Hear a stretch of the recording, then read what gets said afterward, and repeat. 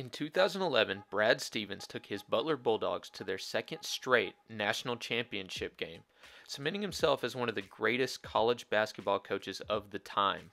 Today, we will take a look at three of the sets Stevens liked to utilize in his biggest games from 2010 as well as 2011, including what I think might be one of his favorites, on this episode of Climb Hoops.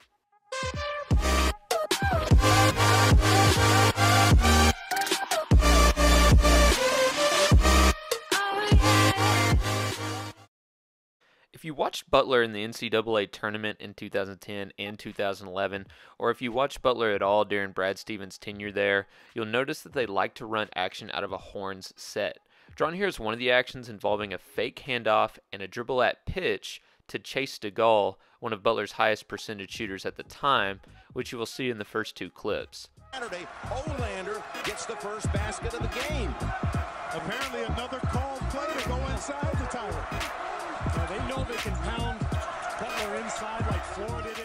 You'll notice at this point, because they didn't get anything out of the initial set, they'll go into their continuity ball screen action, and they end up getting their shot blocked there. This time, the dribble at pitch is going to be given to their best player at the time, Gordon Hayward.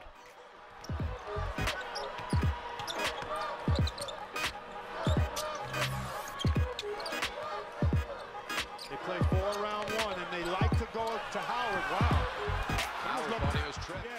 The next play will be similar, except instead of a fake handoff, Shawn Vanzant will use a ball screen and reverse the five popping out. You know, it's interesting, Jim. Butler is seven and eight. I also really like here how they flow right into the Euro ball screen action involving a back cut followed by a pitch and a ball screen. And winning the free throw game. Andrew Smith gives it up outside. Perimeter passing sets up Howard. No, he missed all five from behind the arc on Saturday. Finally, you'll see a double pick and roll followed by a dribble handoff pop that gives Matt Howard an open three.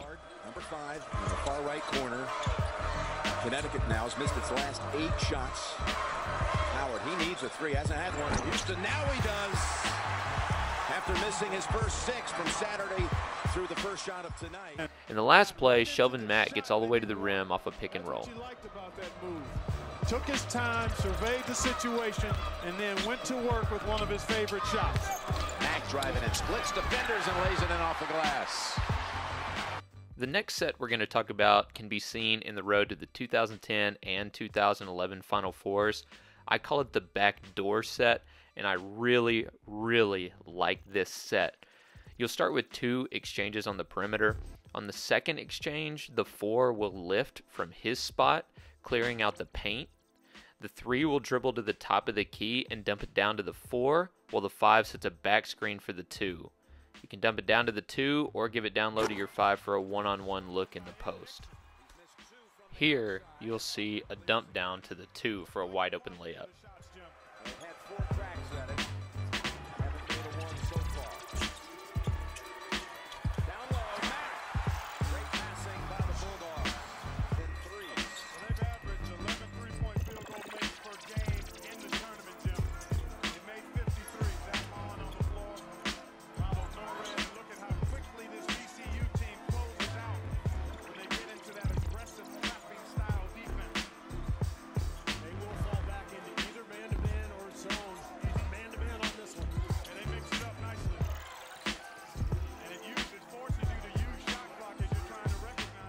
This time, Gordon Hayward will follow his pass to the five, and he'll slip a down screen on the ball side for what should have been a wide open layup. Howard trying to get the pass inside to Hayward, who they say was held up by Green. He was. The last play I want to show you guys is what I think might be one of Brad Stevens' favorite sets from his time at Butler. I call it the empty set. I saw it multiple times in multiple games throughout his tenure at Butler. You will start in horns, and your five will pop out to the right wing. Reverse to the five while the two empties out the backside to the ball side post. The four will set a back screen for one, and if it's open, you can throw the lob to one. If not, one will come back out to the backside wing. Two reversals, and then the two will set a back screen for five. Hit five if he's open, or if you have a mismatch in the post. Finally, the 2 and 4 will turn and set a stagger screen for your best shooter, the 3, who will get a shot at the top of the key. In each set, you will see variations and wrinkles depending on matchups. Inside. UConn's bigs are not necessarily scorers. In fact, Oriakhi doesn't have a double. Here, they will completely miss Matt Howard wide open in the post. Well, in the game the other night, they got 20 points and 20 rebounds from their front court players, did UConn. It's the goal. Can he do it a second time? No, wide left. And it's Walker. To make adjustments. Here, they empty out, but instead of running the set, they go right into a ball screen and end up getting a wide open shot in the deep corner. The top of this Butler defense, I think that's their best attack, is to go with Lamb off those screens rather than try to go at those high pick and rolls with You're in the national title game and had two surgeries over the summer, missed really playing for months. Now he's uh, off the bench and ready to go check in. So Lucius, by the spark plug, coming back. Howard remains out of the lineup for the Butler Bulldogs. Delvon Roe. I really like what they do here because they run the same set from a sideline out of bounds look.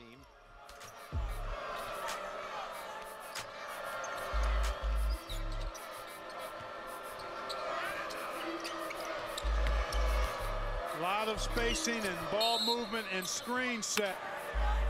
Nored will bring it up. He's uh, talking about a leader, just a sophomore. His first month on campus at Butler, he was elected the freshman class president. Impressive. Got a great personality and obviously leadership qualities to match. Again, just a sophomore. Here he is, Nored. Now, he doesn't like to shoot. He wants to set other people. Sets up two. and guys, we talked Here, the play breaks down because of a bad pass, but you'll notice most of the time they run this set, they get a paint touch, which results in greater opportunities to score. Kansas had 18 offensive boards themselves, so that's a factor here. You got to watch that tonight. Pond. Goes back outside. That pass got away. Here, so Here they use a variation of the set to get Andrew Smith a look in the post.